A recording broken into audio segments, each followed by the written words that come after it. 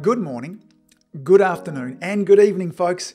Welcome to another episode of the Marketing Practice podcast, the podcast where I get to simplify the marketing and the mindset necessary so chiropractors can make more money, have more impact, and have a whole bunch more joy in their personal and practice lives too. Today's episode is going to be super tactical. Excuse me. We're going to be talking all about how to make better videos so you can attract more patients. These tips are going to be a mixture of what to do to make your videos actually look better and also how to make the videos more engaging, um, have more meaning and depth into them too. If you're not using videos to build relationships with people in your community, if you're not using videos to continue to engage with your existing patients, gang, now's the time to start. And today's podcast episode will really help you make better videos. Let's dive into it because we've got lots to share. Tip number one is stand closer to your camera. As a general rule, when I'm reviewing videos from community influencer and video influence members as well, most of them are standing way too far back from the camera. Now, when we're standing too far back from the camera, it makes it difficult for your audience to engage with you. It makes it difficult for us to see the uh, facial expressions, the body language, for us to pick up on some of the subtleties of what video is sharing. Now, as a general rule, when you're shooting your videos, you want to be about an arm's length away from it. So if I look to my iPhone over the side here, I reach my arm out, it's just a little bit further than that. That means, because most of you, if you're watching the video for this, you're probably watching this on your mobile device. The screen is small and you want to be able to kind of see my facial expressions. You want to be able to see what my eyes are doing. You want to be able to see what I'm doing. And if I'm too far away from the camera, we miss some of the subtleties of that. So we miss that engaging medium that is video as well. Now, also, when your camera is too far away, it really impacts the sound. I'm going to talk about sound in tip two in a moment there as well. Now, I understand sometimes if you're showing something, maybe an exercise, um, if you're wanting to show an adjustment, then you need to be far enough back so the video can see. But if it's a talking video, much like I'm doing now, make sure that you're nice and close to the camera. We don't need to see you really from the waist down. The chest up is, is enough there too. So make sure that you're close enough to the camera is tip number one. now, tip number two, if you want to be making videos that attract more patients, please don't ignore the sound. I watched a really great video the other day that one of the video influence members sent me. He was sharing a message. It was beautifully impromptuly shot um, in like a food court he was talking just about some great eating tips, um, some great information on how his practice members and community could better manage their health. Visually, it looked really great. The framing was great. He was nice and close to the camera. But the moment he started to talk, the microphone he was using on his phone there picked up all the background uh, sound, and I could barely hear a word that he said. Now, I was trying to turn it up really loud on my computer to review it, and it, it was unlistenable. And so, sound is super important. We ignore this often on video. But let me remind you, we will listen to really good audio. If you're listening to this as a podcast, we're happy to listen to audio without sound. But if we're watching a video and it has really terrible sound, you're not going to get long before your audience are going to turn off. Now, this doesn't mean that you need to buy fancy microphones, although I'll give you two recommendations if you'd like to buy some microphones in a moment. It just means that you need to really think about the environment that you're shooting your video in. If you're shooting it outside, particularly where there's a lot of background noise, or inside where there's a lot of background noise, like Michael was doing there too, you need to be really mindful of it. If you're going to be consistently shooting in those environments, you will need an external microphone because your iPhone or whatever device you're using will pick up on a lot of that background sound. This is where an external microphone can be really helpful. Now, at its cheapest, you can just get plug-in wired Lavelle, lapel, lapel, lapel, lavalier. That's the word I'm after. Lavalier microphones. I'm a huge fan of Rode, R O D E. It's an Australian company, but they sell their microphones around the world. They have a fantastic reputation, and in terms of return on investment for what you pay for what you get is really fantastic. So, you know, for 50 bucks or so, you can get a plug in um, microphone that'll plug straight into the jack in your phone, whether you be an iPhone or Android user as well. And that means if you're shooting in a noisy environment, um, it'll block out all the background noise and it'll make sure it picks up you. If you want something that's not wired but wireless, that allows a little bit more freedom of movement, particularly helpful if you move around during your videos a little bit, particularly helpful if you're showing things in your videos. Then again, another Rode product. They have a product called the Wireless Go. Now, there's now a Wireless Go 2, which has some fancier um, things that it does, most of which we won't need as chiropractors there too. But if you want to spend the money, either the Rode Wireless or the Wireless Go, it's about 250 bucks and it'll last you forever. Like it's my uh, first wireless microphone that I got was a Sennheiser product and I had it for like 12 years and I could still use it right now. It's just a bit big and bulky. I now have the Rode Wireless um, product. It's fantastic. It improves the audio if I'm out and moving about. So don't ignore sound. Sound is one of those things that has a big impact on the video. Now, as a side note, Instagram recently released some information in around their algorithm what goes into them showing videos and not showing videos? And the actual quality of the video in terms of the sound is it blurry visually what it looks like? These things all play a role. So don't underestimate these things okay? So if we have a video that visually looks really terrible, if we have a video that has really lousy sound, I'm going to talk to you about um, uh, video quality in a moment as we dive through these tips. Even if you're sharing fabulous information, then Instagram certainly, and probably the other platforms too, will throttle that. It won't get out as much. So making sure you implement these tips here is, is super important there too. Tip number three, shoot your videos in portrait, which means we really want to have long videos or high videos rather than wide videos. Now, most of us are consuming and interacting on the social media platforms on our iPhone or our mobile devices. In fact, uh, more than 80% of people are accessing the internet on their mobile devices. And when we're on our mobile device, we don't turn it to the side, we have it upright. And we really want to maximize the screen. It was BuzzFeed recently ran a whole bunch of, no, it wasn't BuzzFeed, it was Buffer all of these different uh, websites that basically showed that you're going to get a whole bunch more interaction, engagement, exposure when your videos are long videos as opposed to wide videos. Now, you can kind of fit in the middle of this by shooting a square video. On my iPhone, and probably if you're an Android uh, user as well, there are plenty of apps or in the actual camera app itself, you can actually shoot square videos. Um, so at the very least, shoot a square video, but probably you want to be shooting videos that are vertical videos referred to as well. It just takes up much more of the screen. It's visually more eye-catching, and it is the way that videos are heading towards. These wide videos are the sort of videos that we're watching on our television and when we go to the cinema but they're not the taught, not the taught, the sort. Man, I've got the mumbles today. They're not the type and or the sort of videos that work really best on our mobile device. So if you want more people watching your videos, make sure you're shooting vertical videos. Okay, on to tip number four. If you're wanting to have more people engaging with your videos, if you're wanting to be attracting more patients because of your videos, then don't make your videos too long. I was looking back on some old trainings of mine from three or four years ago, and I was saying that most of your videos need to be in around that three, four, maybe five minute mark. And now what I'm saying to most of your videos need to be up to one minute. Okay, the vast majority of your videos should be less than a minute. So if we said maybe six out of 10 of your videos you're making should be less than a minute, maybe the other 30% of your videos, the other three out of 10 could be in that three to five minute mark. And then maybe one out of 10 of your videos could be five minutes and up, okay?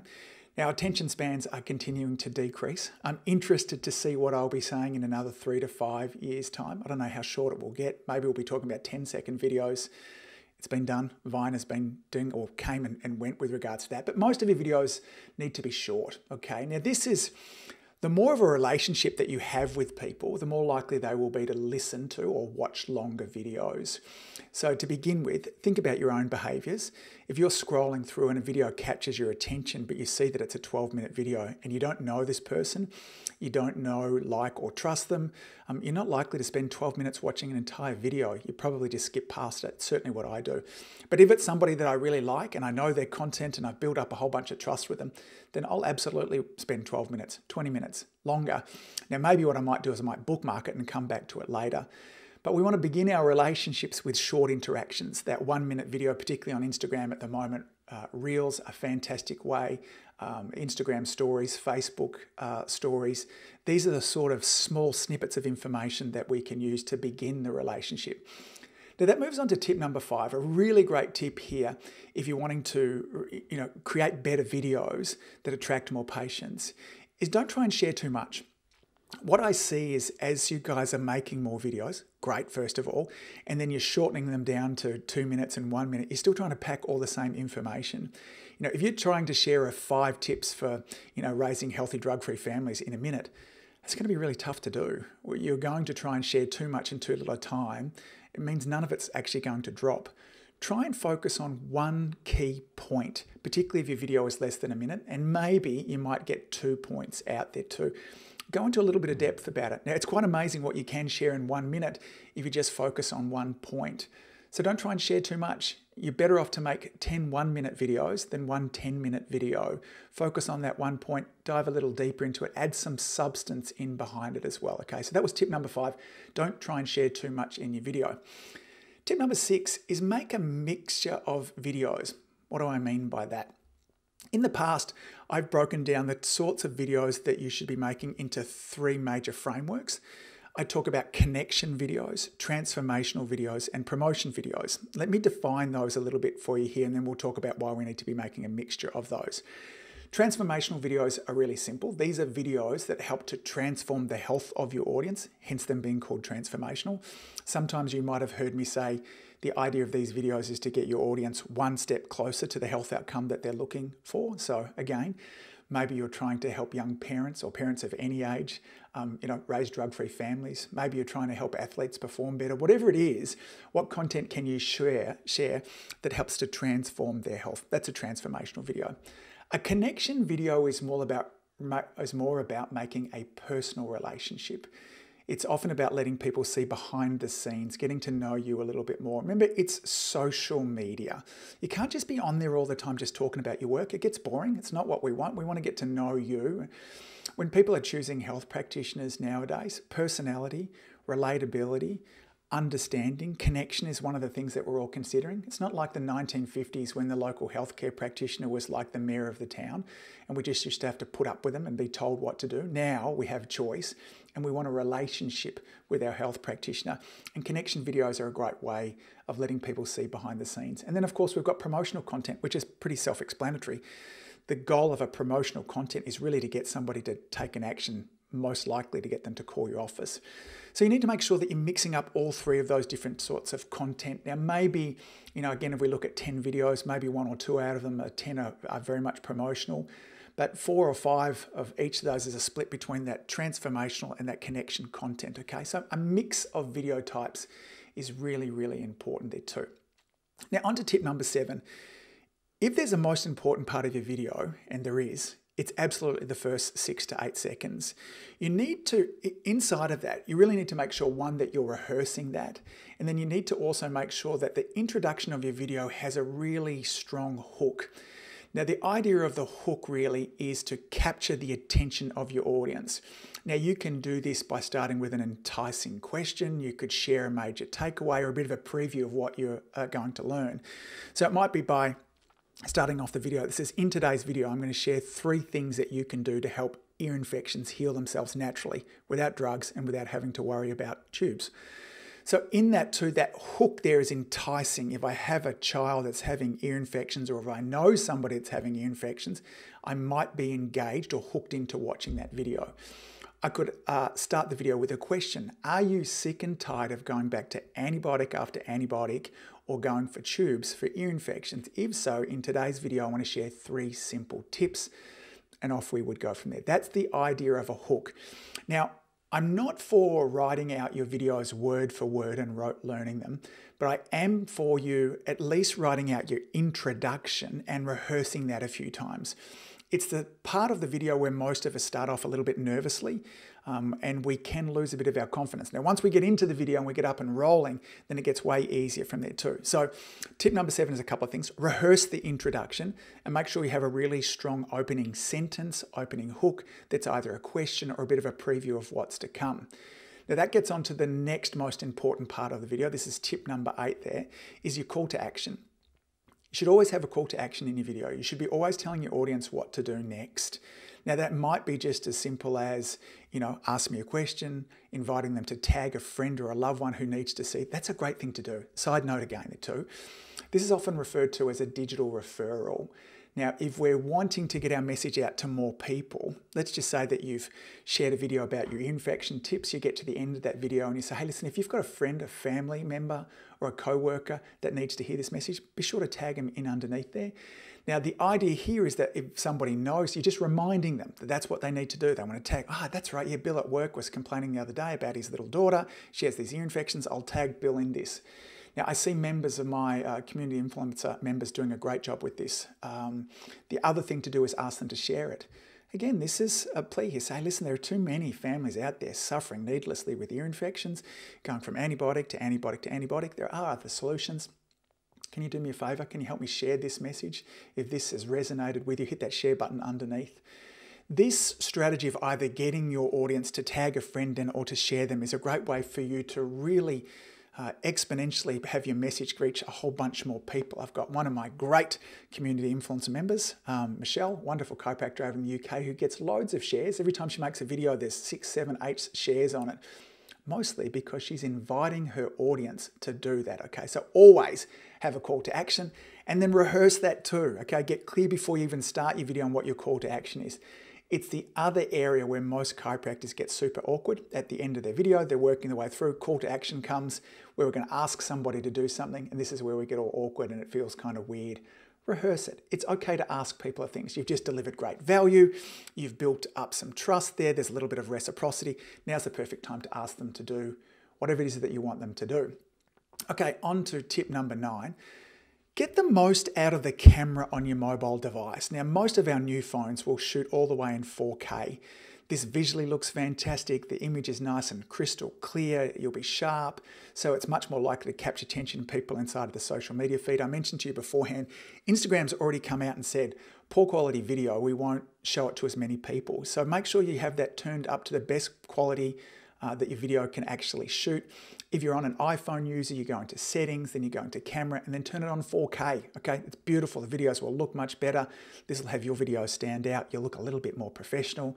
When your community sees professional videos, they're much more likely to think that the service in your practice is more likely to be professional too. As I mentioned beforehand, um, the social media platforms will be much more likely to disperse and share those videos also. So again, whether you're on iPhone or Android or whatever you're using, make sure that you have the resolution of your camera turned up to the best that it possibly can shoot.